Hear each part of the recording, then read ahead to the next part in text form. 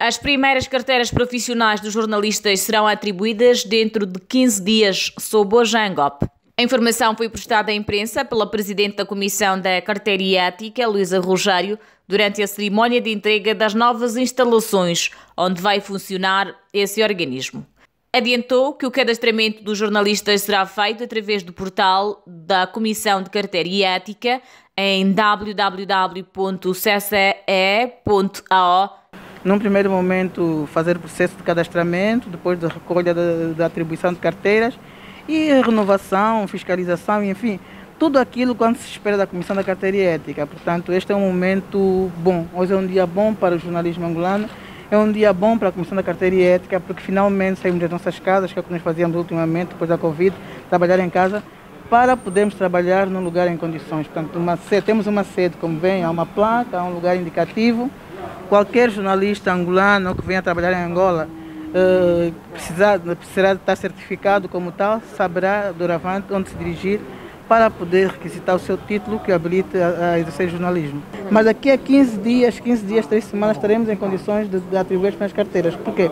Porque o processo de inscrição é online, uh, como viram, no, o jornalista só precisa vir à comissão para receber a carteira. Por outro lado, congratulou-se com as novas instalações cedidas pelo Ministério das Telecomunicações, Tecnologias de Informação e Comunicação Social. Importa referir que, nos termos da lei sobre o Estatuto dos Jornalistas, para se ter acesso à profissão de jornalista em Angola, tem de se ter como requisito uma licenciatura em Comunicação Social ou jornalismo ou ter mais de 5 anos de profissão. Por seu turno, o ministro das Telecomunicações, Tecnologias de Informação e Comunicação Social, Manuel Homem, que fez a entrega formal do imóvel, referiu que o Executivo vai continuar a garantir o apoio institucional para o bom funcionamento da classe jornalística.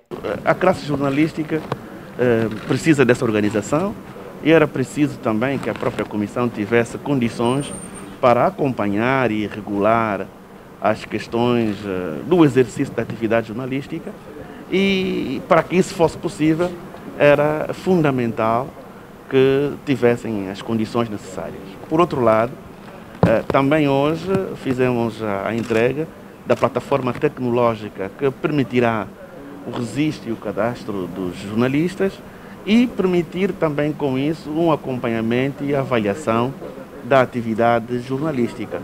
Portanto, eh, penso que estão criadas as condições e essa colaboração efetiva entre o Executivo, a Comissão de Carteira e Ética e a ERCA deve se manter para o desenvolvimento da classe e a criação de condições para que em Angola eh, o exercício da atividade de imprensa, do jornalismo, aconteça eh, dentro do princípio e dos marcos da, da lei. As novas instalações da Comissão de Carteira e Ética situam-se no distrito do Rangel, próximo ao Instituto das Telecomunicações, ITEL. Antes trabalhava numa sala no Centro de Imprensa Aníbal de Melo.